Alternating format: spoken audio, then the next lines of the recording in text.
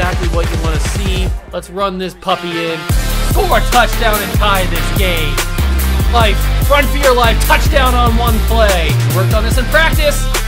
Touchdown. It's up to Kelvin Benjamin. This is all you, buddy. Kelvin Benjamin for a touchdown. Oh, he toasted his man. Holmes toasted his man. Spin move. Oh!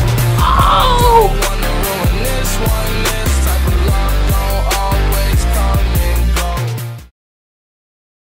What's going on, guys? Welcome back to another video. And wow, I did not think I'd be doing one of these videos anytime soon with anybody. But if you guys have not heard, I might as well just jump right into it because I don't know how long this video is going to be. If you guys have not heard, yesterday the news broke that former New England Patriot wide receiver David Patten passed away at the age of 47, I think. I think he was. Hold on, let me check. Let me give give me one second. I want to get this right. Yes. He was he was 47 years old. Uh, I heard from reading some articles that it was an, a motorcycle accident. And he's gone.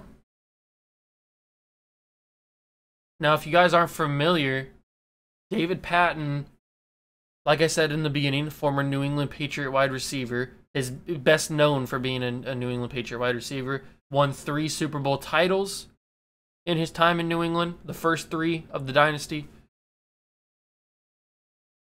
and was a pretty big piece to those championships. Now, I'm not going to act I'm not going to sit here and act like I know David Patten's career front to back. I'm not going to sit here and act like I I watched him religiously or I was a huge fan of his even. I David Patten was before my time as a Patriots fan, but he was still one of the best wide receivers I personally have ever seen not just on in New England. He was one of those receivers that doesn't get a lot of love. He was one of those receivers that doesn't get a lot of hype. He was one of those receivers that just goes out there and does his job and does it really well. And me personally, I've seen some really, really good wide receivers. Randy Moss, DeAndre Hopkins, Davante Adams, Hines Ward, Larry Fitzgerald. I've seen some really, really good wide receivers in my time. Terrell Owens, Chad Johnson, guys like that, guys of those statures. I've seen those guys play. They are Hall of Fame worthy. And David Patten, I'm not sure, is he in the Hall of Fame? If he's not, he, he should be because he is right up there with those guys. Now, a lot of you probably are saying, Juice, what are you talking about? David Patten wasn't that great of a wide receiver. Well, you guys obviously haven't seen any highlights or anything. Just go up and just go and look up some David David Patten highlights on YouTube.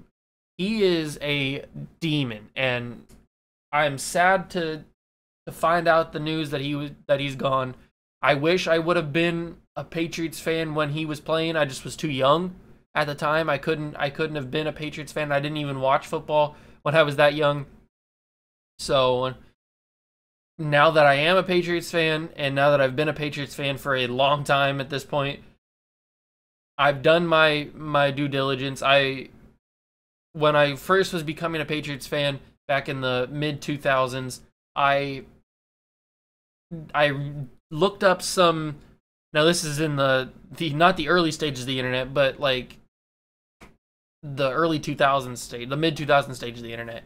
I looked up David Patten, saw some clips, read about him.